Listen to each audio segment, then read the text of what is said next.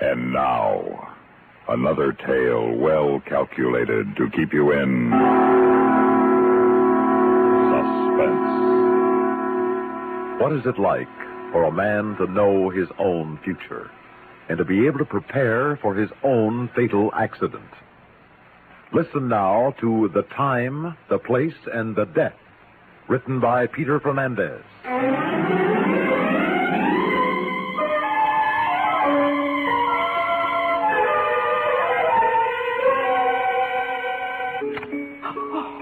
There it is again, Signor. There it is. Yes, yes, the ace of spades. Never have I seen anything more positive. Three times through the cards, and they turn up in the same sequence. This, then, is a warning to me? A warning. Oh, no, Signor. This is a fact. This is a prediction of the inevitable. No. But you have seen for yourself three times. Yes, that's true. But to die now in the prime of life in perfect health? Who can dispute fate? I am sorry, Signor, but you are fortunate that you know now. Do not question further. Accept. You will be happier. Accept? Happy? To know that very soon I will cease to live? Happy to know that only about two weeks are all that remain to me of this exquisite life? Would you care to go through the cards again, Signor? No, no, thank you. How much do I owe you? Oh, no charge. Instead, I wish to offer you my deepest sympathy.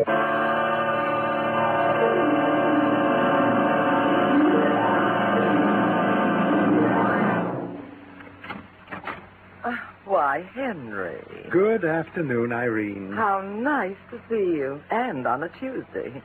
Tuesday isn't one of your usual days. I trust I'm not causing you any uh, inconvenience by dropping in unexpectedly like this. I'm quite alone, Henry. Good.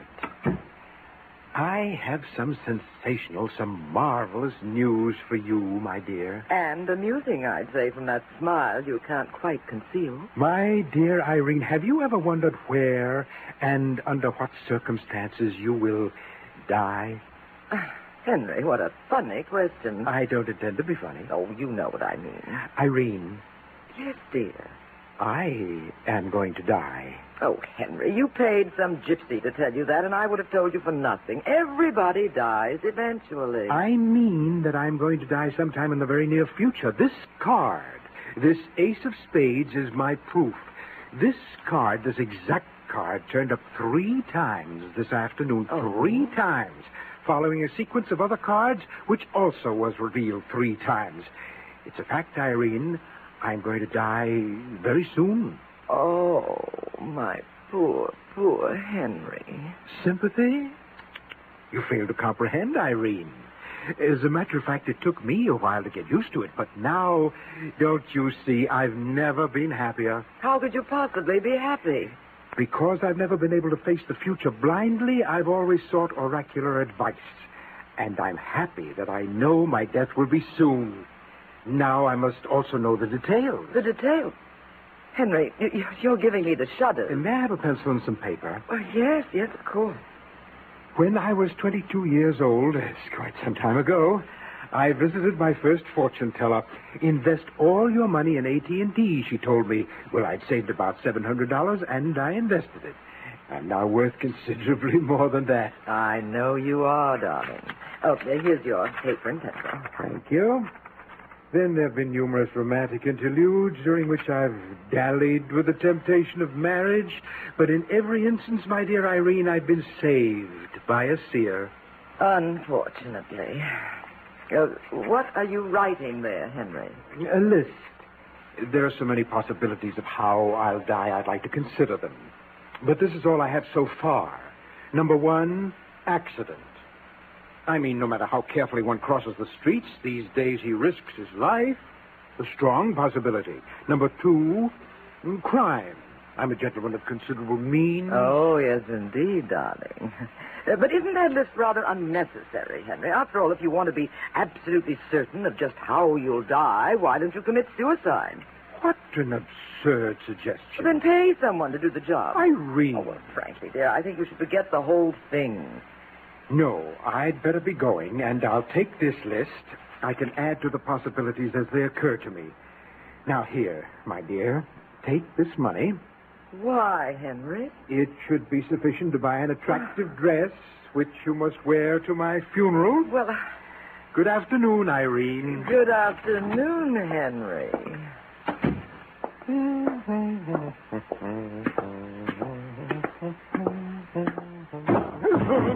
In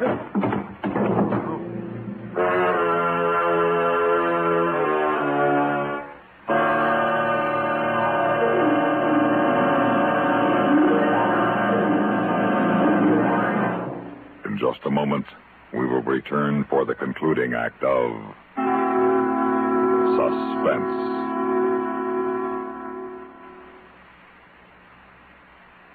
Here's Hollywood star Mona Freeman. Feels like acting with a miserable cold? I relieve cold distress the fast way with four way cold tablets. Yes, tests of all the leading cold tablets proved four-way fastest acting. Amazing four-way starts in minutes to relieve muscular pains and headache, reduce fever, calm upset stomach, also overcomes irregularity. When a cold strikes, do what I do take four way cold tablets.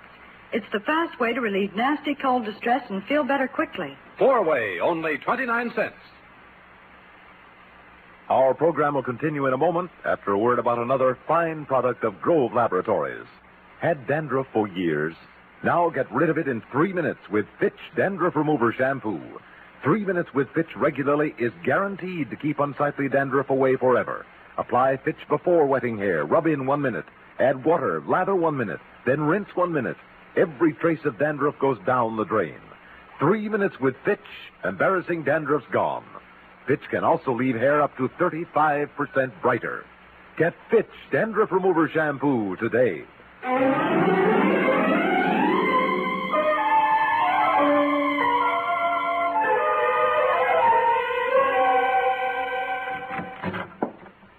Who's that? What's going on? Miss Chippendale. Miss Chippendale. Oh. You're right, sir. Yes?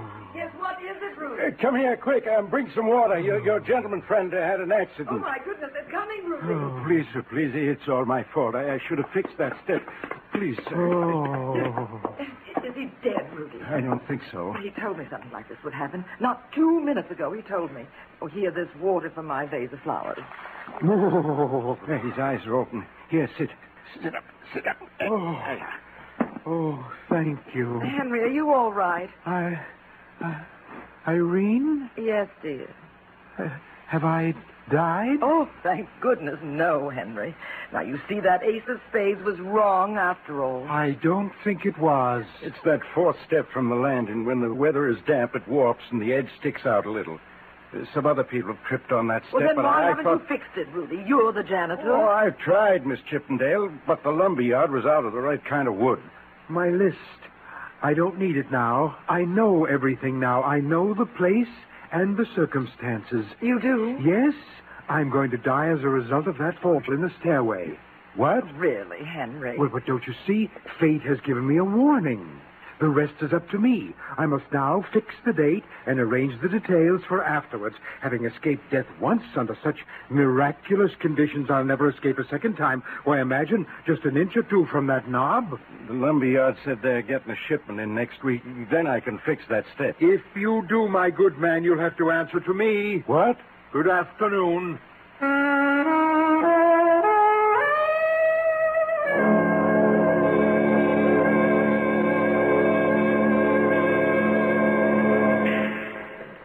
But it's impossible, Henry. Nobody can foretell the future, except perhaps the weatherman, and you know how accurate he is. Take my advice and forget all about it. Oh, it's your shot. My dear friend, I've received a warning, which I believe. I'm in a very enviable position. I'm now able to arrange a suitable date for my death. It can be any day upon which I decide, and the appointment must be kept. Ah. Oh, good shot, Henry. Tomorrow. No, tomorrow's too soon. But um, next Friday. Ah, Friday. That would be a fine day on which to die. Next Friday isn't any good, Henry. Why not? That's my usual day for visiting Irene. Oh, but of course. How forgetful of me. Well, I don't wish to die on Saturday. There are too many interesting parties I might attend. Sunday. The day will be Sunday. Perfect. They can bury me on Wednesday. Oh, another good shot, Henry. Now I must see my lawyer about a will at once. I'm leaving almost everything to dear Irene. Uh, oh, you are? Well, I can't leave her penniless. Uh, no, no, of course not, of course not. And then I must arrange for the funeral, the burial, so many last minute details. Perhaps I won't have time ever to see you again. Unless you can be in Irene's apartment with her next Sunday for our farewell. Well, I. In uh, fact, Joseph, I'd like you to be there at, uh, shall we say, 5.30. I'll descend the stairs to my death at 5.52. Yes, fives and twos always have been benevolent numbers for me. Uh, yes, uh, y- yes. Uh, I'll be there, my dear Henry. And on Wednesday, uh, of course, you'll attend my funeral. Of course, of course. And uh, I shall mourn for you deeply. Splendid. The funeral will be at 3 o'clock. Oh, three o'clock. Oh, but, but, but, but, Henry, that's the afternoon they'll be judging the Terrys at the Westminster. And I've registered both Tristan and Isolde. Oh, no, no, no. I'm, I'm dreadfully sorry, but I, I just can't. I, I am sorry, too, Joseph, but at least can I expect you to be at Irene's on Sunday? Uh, on, on Sunday? Oh, yes, Henry, yes. Uh, I shall be there.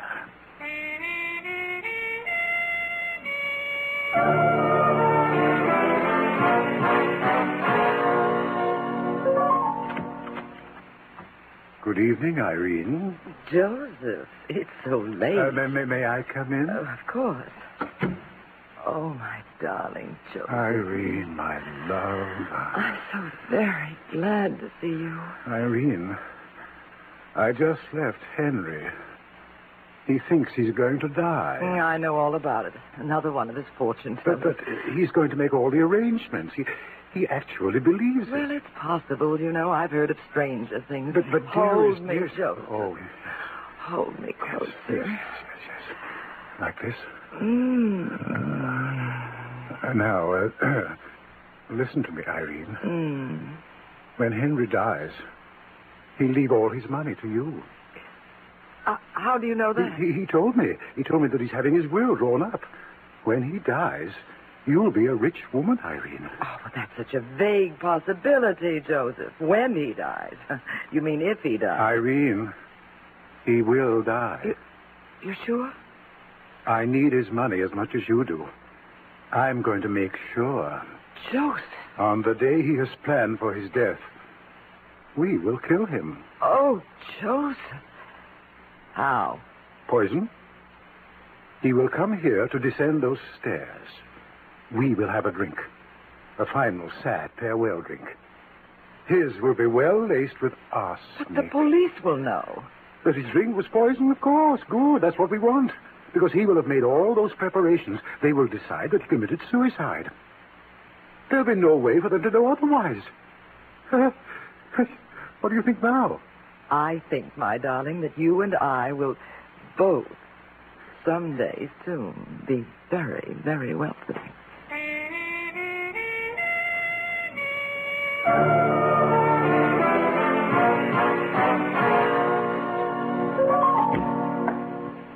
Yes, sir. Is there some way I can help you, or would you rather look around? I wish to order one of these. Oh, yes, sir. Is there any special kind of wood you desire? If only I knew what kind of wood that stairway is made of, that might be rather suitable. Ah, but it too might warp. Uh, I desire mahogany. Hmm, I'll just write this down. Yes, and uh, the trimming, sir. Silver. I want a first class funeral. Very well. Uh, $2,000 certainly will take care of everything, sir. Excellent. I'll make you out a check for the amount right now. Oh, that's perfectly all right, sir. Just a deposit will be sufficient. Uh, you can mail the balance to us later. But I won't be able to later. You see, uh, the coffin and the service are for myself. that's a great joke. I am not joking. I am dying on Sunday. I want to be buried next Wednesday. I believe you're serious, sir. I assure you I am. Forgive me. I understand. Goodbye. You'll be given a magnificent send off. Uh, goodbye, sir. And good luck. Good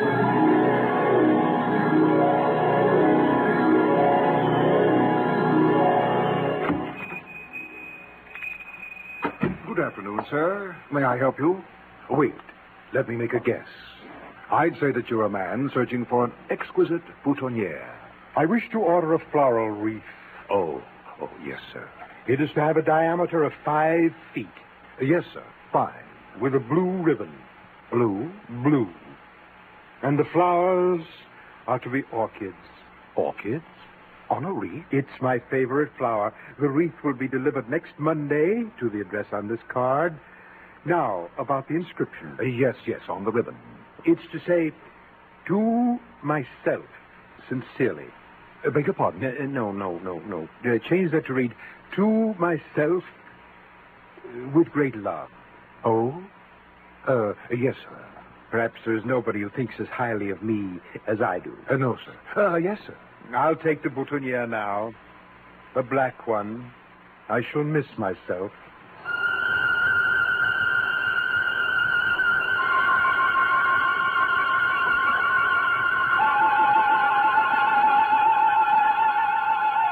Irene.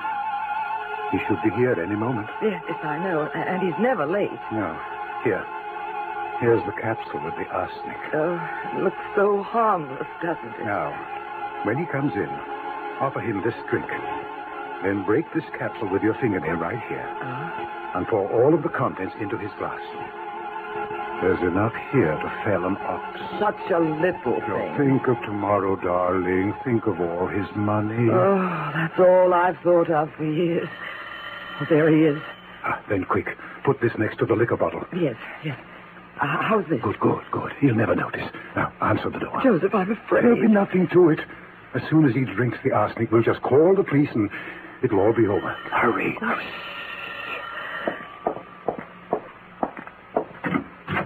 Good afternoon, Irene. Hello, Henry. Come in, my dear. Thank you. And Joseph.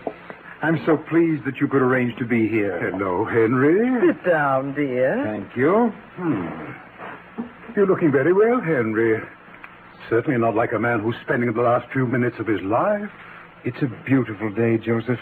And I had a delightful lunch earlier. Couronne de canard au riz à la normande. It was perfection. Then why don't you go back to the same restaurant tomorrow? Why go through with all this today? Because I must. But I rather regret leaving on a day like this. Well, then why not change your plans? Forget all this nonsense and have a few friendly drinks with Irene and me. Henry, don't, don't leave. I must. Oh, Henry, think of what you're doing to me. What will become of me? I'll be so lonely when you're gone. Oh, there, there, Irene. Oh, Irene. As for being lonely, I'm sure Joseph will be pleased to add another usual night to his schedule. What? Oh, yes, yes, of course, of course. Now, aren't you feeling better, dear? Yes, yes, much. But, Henry, there is one thing more before you go. One last favor to me. Name it, my dear. Here's a drink, Henry. I want us to have a last sad drink together. You needn't have enough to, to spoil your death. No, there isn't time. It's now 5.49. I've never been late for an appointment in my life. I have only three more minutes. I must go. Wait. And, uh, Joseph, thank you for the many games of billiards, for the fine friendship of all these years. But- but, and you'll be sure to send me a spray of orchids on Wednesday. Uh, Henry, I insist that you have a drink with us. Farewell, Joseph. Uh, Henry! This is it. Yes, yes, I can see that step, the fourth from the bottom. Now. It'll be such a perfect funeral, and that cemetery plot, eternal beauty there, a perfect life, and now a perfect death. The next one, it's the next step. I'll close my eyes and step off into space. Goodbye. Goodbye, beautiful world.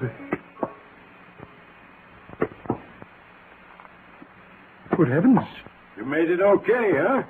You fixed that step. I did not. I got the wood, but today's Sunday. I don't work on Sunday. Then the step is no longer warped. It's just the same as the day you fell. But you were so careful today, even when you shut your eyes. I stood over there watching you. You didn't trip even a little. You went so carefully that, that I. Carefully? Henry! Henry! Why, you're all right. You're, you're not dead. Dead? No, Joseph. Oh, there, Then nothing happened? Oh, I saw images of my childhood. My whole past flashed before me, and then I realized that this afternoon, just now, I escaped my own death. That's true. And now, don't you see? Now I shall live forever. Oh, no.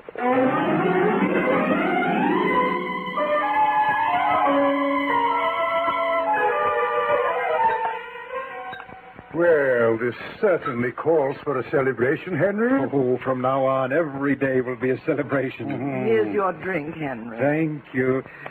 Irene, Yes, dear. There's something I must do first before anything else. Uh, What's that? I must telephone. I'll put my drink down right here, and uh, it won't take a moment. Uh, But, but, but, but, but Henry, I, I'd like to propose a toast to you. Well, then go right ahead, Joseph. It would be bad luck for me to drink my own toast. but, but Henry. Hello. Oh, dear. Is this the funeral director? This is Henry Perth Johnson.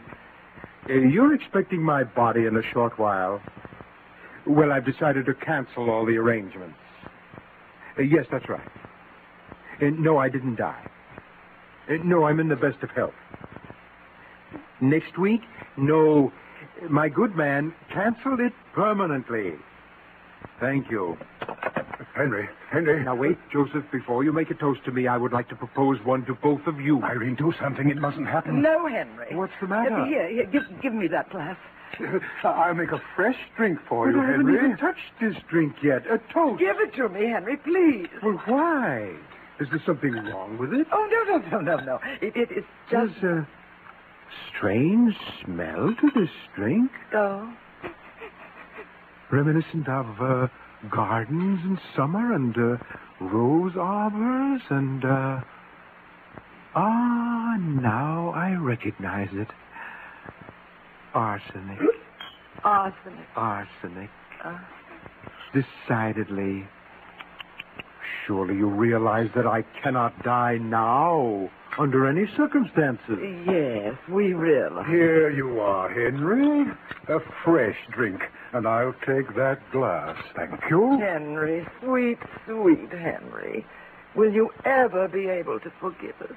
Forgive? I've already forgotten. To you, Irene, and you, Joseph, my closest and my dearest friend.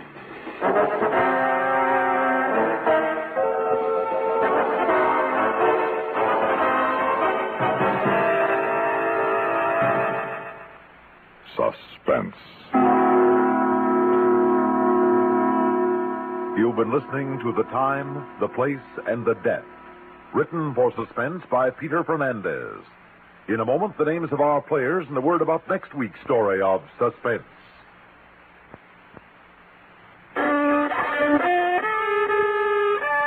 Are you out of tune due to irregularity? Then help yourself get back in tune with Kellogg's All Bran. Pleasant, isn't it? The feeling of well being you get when constipation from lack of bulk is no longer a worry. When harsh, irritating drug laxatives can be thrown away. Because Kellogg's All Bran is the normal, natural way to regularity. Its whole bran content gentles away constipation, supplies your system with the bulk forming foods you need for youthful regularity. And it tastes good, too. Fact is, Kellogg's All Bran is the one and only whole bran cereal that combines proved effectiveness with appetizing taste and crispness. So if you're out of tune, help yourself get back in tune as millions do with Kellogg's All Bran. A-double-L hyphen B-R-A-N. Kellogg's All Bran. Heard in tonight's story were Eric Dressler as Henry, Claudia Morgan as Irene, and Mercer McLeod as Joseph. Others in our cast included Bryna Raeburn, Maurice Tarplin, Peter Fernandez, and Dwight Weist. Listen again next week when we return with Turnabout, written for suspense by Jay Bennett. Another tale well calculated to keep you in Suspense.